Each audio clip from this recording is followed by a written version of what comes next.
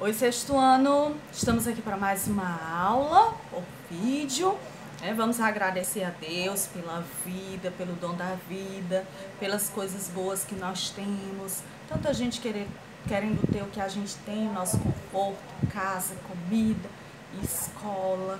Tanta gente querendo estar assistindo aula por vídeo, às vezes a gente reclama, ah meu Deus, ainda por vídeo, queria voltar para a sala de aula. Nós vamos aprender a agradecer a Deus pelo que a gente tem Tanta gente estava querendo continuar os estudos e não pode, né? Estão impedidos por causa da pandemia. E vocês têm os livros, têm os professores à disposição, estão assistindo as aulas por vídeo, estão acompanhando direitinho, tem o livro para acompanhar. Então vamos agora mudar. Ao invés de estar tá toda hora reclamando da pandemia, de estar tá em casa, de estar tá com saudade, e vamos agradecer a Deus pelas oportunidades que nós temos, pela vida que Ele nos proporciona por termos tantas coisas boas e que devemos agradecer a Deus. Né? Então pronto, estamos aqui preparados para mais um dia. Hoje a aulinha de ortografia. Estamos dando conta da nossa da nossa da nossa do nosso conteúdo direitinho. Estou gostando de ver o sexto ano, estou gostando de ver o interesse do sexto ano. Estamos com muitos alunos interessados, muito mesmo. Estão me mandando as tarefinhas, estou gostando das provas. Parabéns aos alunos do sexto ano. Então hoje nós vamos estudar o uso do X e do CH, ortografia. Por que, que a ortografia ela é importante? Porque nos faz escrever bem. E alunos de português da Tia Jo tem que escrever direitinho, tem que escrever certinho, porque eu bato muito nessa tecla de escrever. Tanto que eu faço muitas atividades copiadas, inclusive de interpretação e copiar o texto, por quê? Porque eu quero que vocês saibam escrever direitinho. E a ortografia, ela tem o poder de nos ajudar a tirar aquelas dúvidas, por exemplo. Às vezes a tia está escrevendo e fica com dúvida. Ô, oh, gente, palavra tal, é com X ou com CH? Sabe uma palavra que a tia tem muita dúvida na hora de escrever, apesar de eu já saber, de eu já ter procurado dicionário, mas ainda me causa dúvida? O verbo mexer. Na hora que eu vou escrever mexer, eu fico em dúvida. É com X ou com CH? Porque a ortografia, ela nos prega essa peça. Sabe, uma professora minha de quando eu estudava ensino médio ainda em Teresina, uma vez ela disse, ela era professora de redação, e os professores de redação têm todo um, né, um contato a mais com gramática, com ortografia, com dicionário. Mas ela disse que estava na frente da sala de aula e foi escrever o nome xícara. E de repente ela disse que ficou na dúvida: xícara é com X ou com CH? Oxente, professor pode ter esse tipo de dúvida? Pode. Sabe por quê? Porque o X e o CH pregam cada peça na gente, porque o fonema, a pronúncia deles é muito parecida. Por ser muito parecida, nos deixam essas dúvidas se é com X ou é com CH. Então, a partir de hoje, nós vamos mais uma vez fazer essa tentativa de não errar mais palavras com X e CH. Vejamos. Leia, como sempre, a nossa gramática é contextualizada. Estou vendo seu futuro no fundo da xícara de chá. E que tipo de chá é esse? Chamate. Eita. Aí tem assim, na tira aparecem as palavras xícara, escrita com X, e chá, escrita com CH. Haveria possibilidade de confundir a grafia dessas palavras? Por quê? Haveria possibilidade sim, Sabe por quê? Porque o X e o CH eles têm som, ou seja, eles são fonemas muito parecidos. O som, a pronúncia do X e do CH é muito parecida. Por isso que haveria a possibilidade de se confundir na hora de escrever. Por isso que casa muito o jeito que você fala com o jeito que você escreve. Você tem que pronunciar muito bem as palavras para poder escrevê-las corretamente. Próximo. Você se lembra de outras palavras como estas, com X e CH, que podem causar dúvidas na hora da escrita? Quais? Tem sim. Deixar. É, o que mais, gente? Xerox, xará, xadrez. Todas nos deixam com dúvida. Por quê? Porque o som das duas é muito parecido. Aí eu fico pensando, é com X ou com CH? Fique de olho, vamos ficar de olho. Às vezes encontramos dificuldades ao escrever palavras com X e CH. É preciso tomar cuidado. Em caso de dúvida, consulte o dicionário. O dicionário, como sempre, nos salvando, né? Nos salvando do, da ortografia, da, da ortografia errada, nos salvando das pronúncias muito parecidas. Leia as palavras e complete. Abacaxi, abacaxi é com X. Cachumba, hum, cachumba às vezes a gente fica na dúvida, mas é com X. Mexerico, dúvida também, mas é com X. Relaxar é com X. Cachimbo, hum, X ou CH? Com CH. Piche, com CH. CH e X nessas palavras têm um som idêntico. Como a gente faz? Busca o dicionário, busca as regras para a escrita dessas palavras, já que o som delas é muito parecido.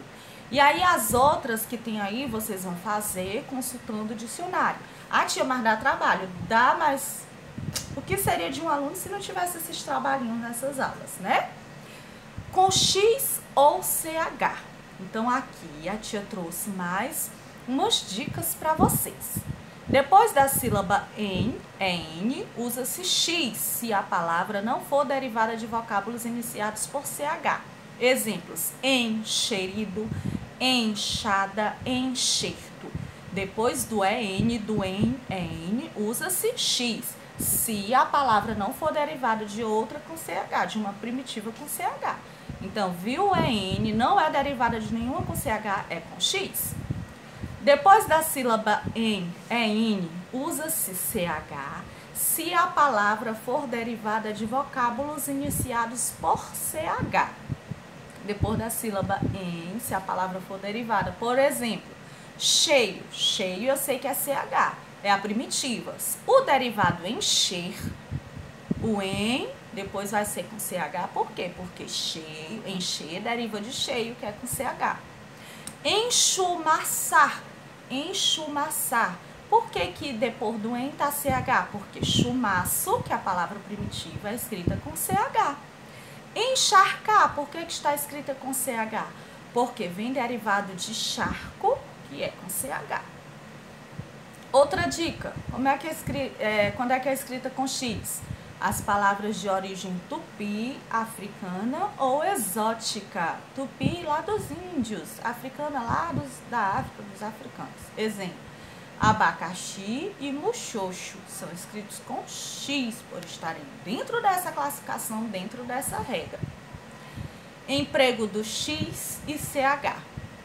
Emprega-se o X normalmente depois de ditongo. Olha aí uma dica para vocês, sexto ano. Emprega-se o X normalmente depois de ditongo. E o que é ditongo, para relembrar? É o encontro de uma vogal e uma semivogal na mesma sílaba. Ditongo é o encontro semivogal e uma vogal na mesma sílaba. Então, depois do ditongo, usa-se X. Exemplo, caixa. Eu tenho um ditongo AI, a vogal A e a semivogal I Peixe. Tem o ditongo é I, vogal E, semivogal I.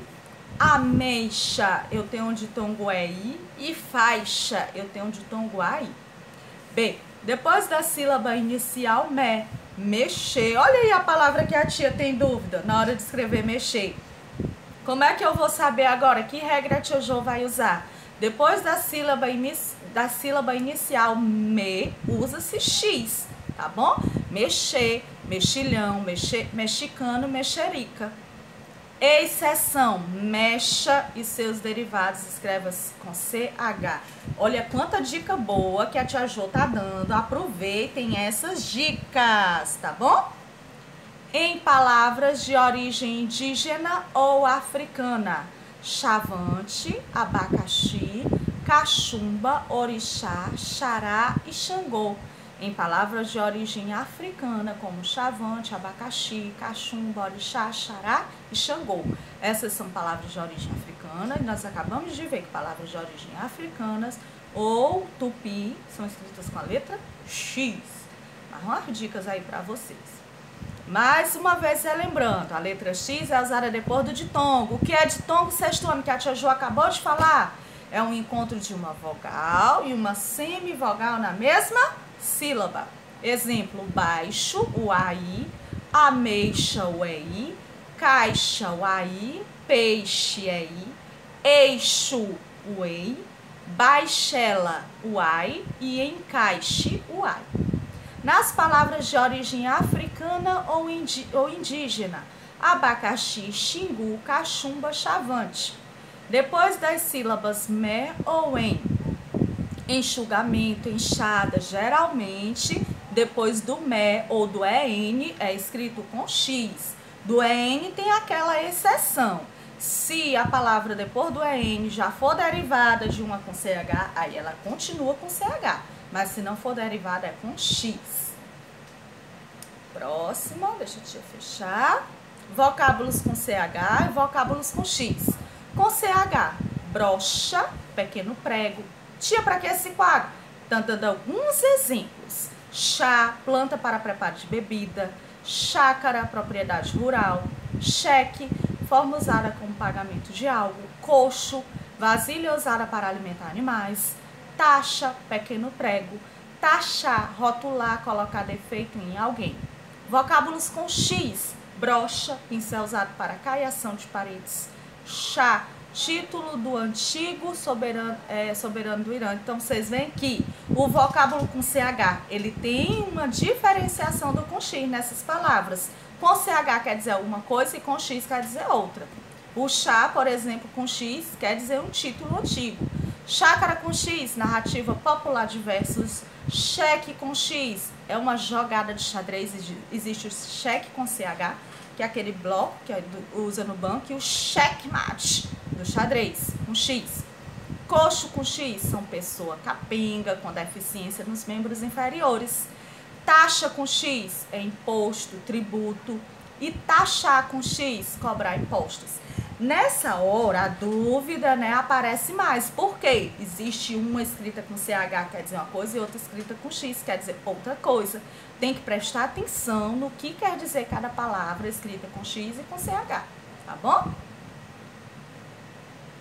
Emprego do X, geralmente depois da sílaba inicial em, se a palavra não for derivada de uma primitiva com CH, enxada, enxame. Exceções, toda vez que se trata do, do prefixo em, mas a palavra iniciada por CH, encher e che. Se a primitiva for com CH, a derivada também será com CH. Em geral, depois de ditongos, caixa e baixo, exceções caucho, derivados de cauchal. Geralmente, depois da sílaba inicial me, mexer e mexerico, exceções mexa e seus derivados. Em vocábulos de origem indígena ou africana, como chavante e abacaxi. Esses são os, os empregos do X. Continuando lá na gramática. Vejamos. Coluna A. Enxofre, enxurrada. Coluna B, mexerica, mexerica. Coluna C, madeixa, paixão todos com a letra X, né? Tá pedindo aí somente você completar com a letra X.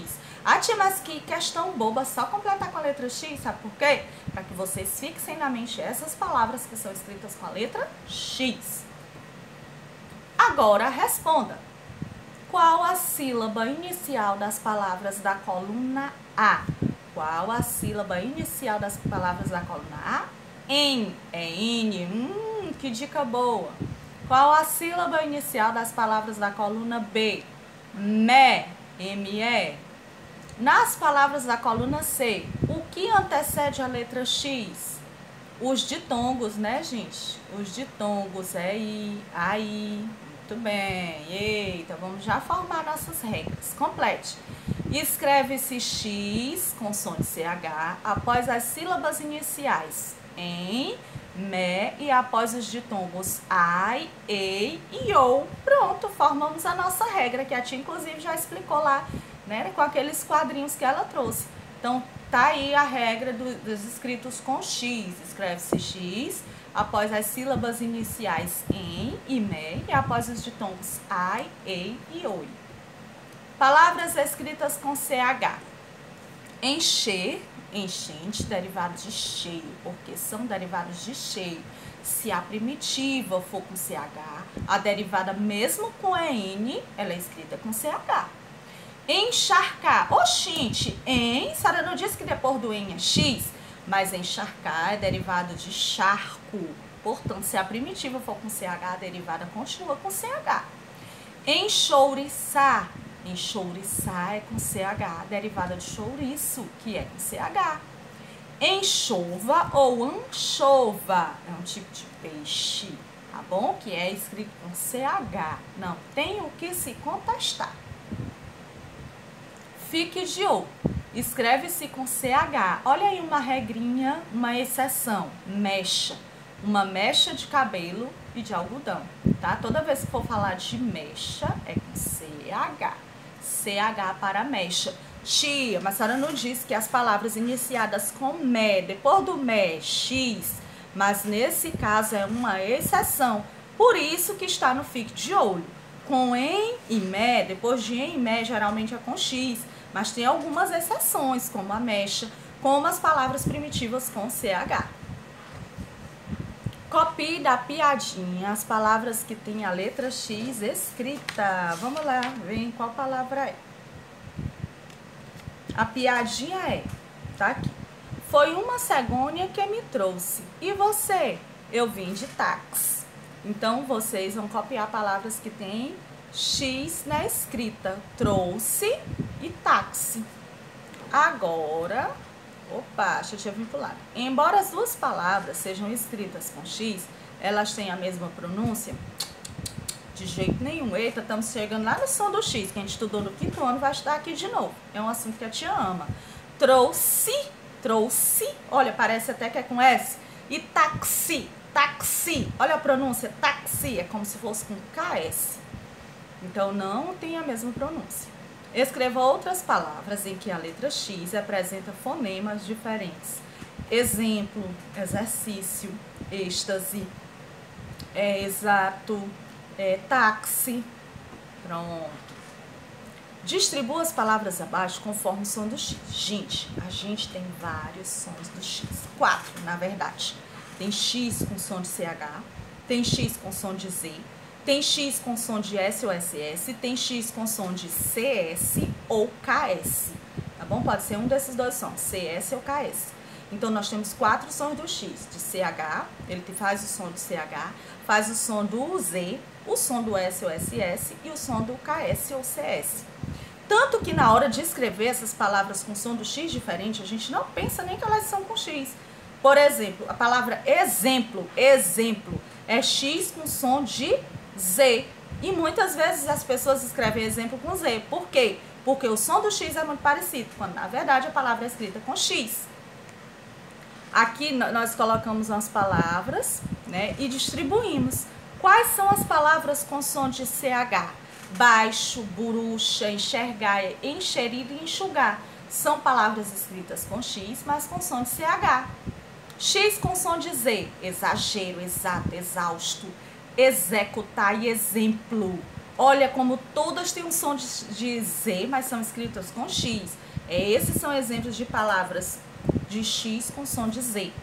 X com som de S ou SS. Extensão, extinguir, pretexto, próximo e êxtase. X com som de CS ou KS.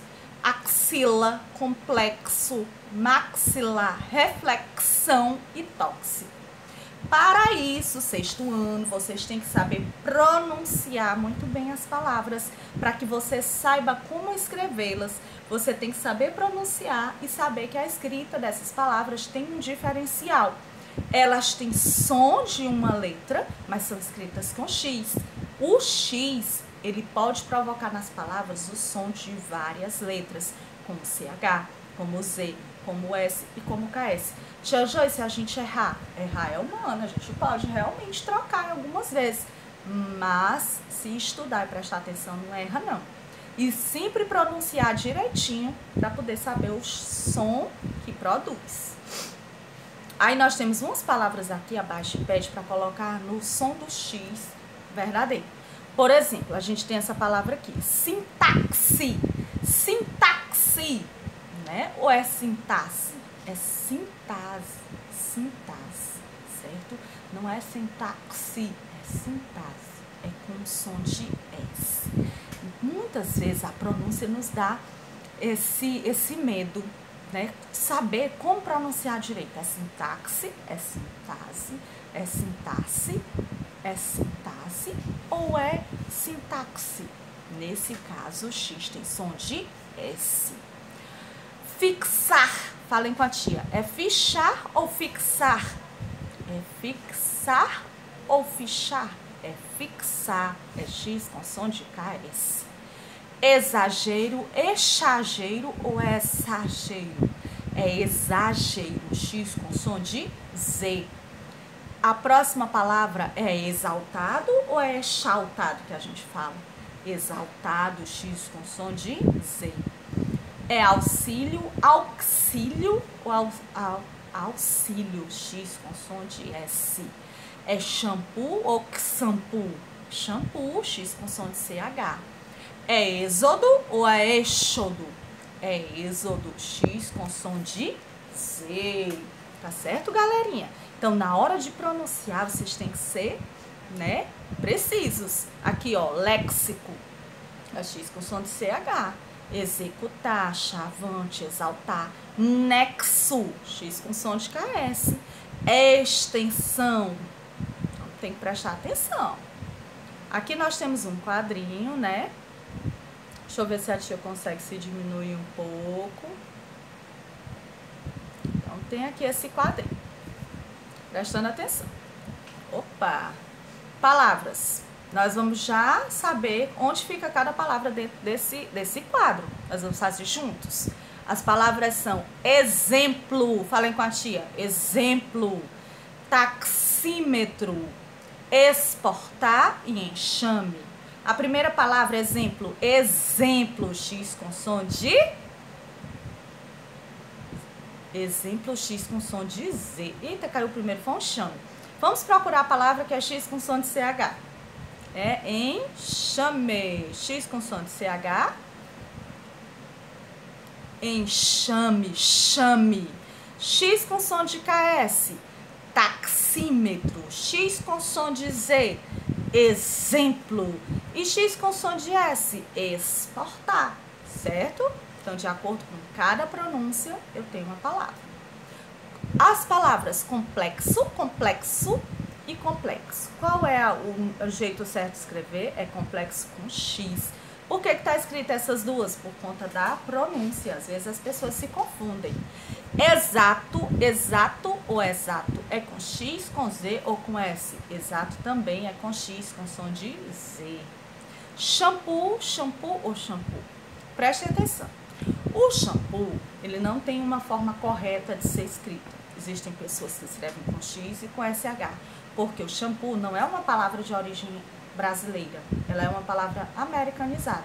Então, vocês vão encontrar frasco de shampoo com X e frasco de shampoo também com CH. Flexão, flexão é com X, é com QU ou é com C, C cedilha? É com X. Exceção é com X, C. Exportar. Exportar é com X, com som de S. Valeu, galerinha? Estão tirando dúvidas aí.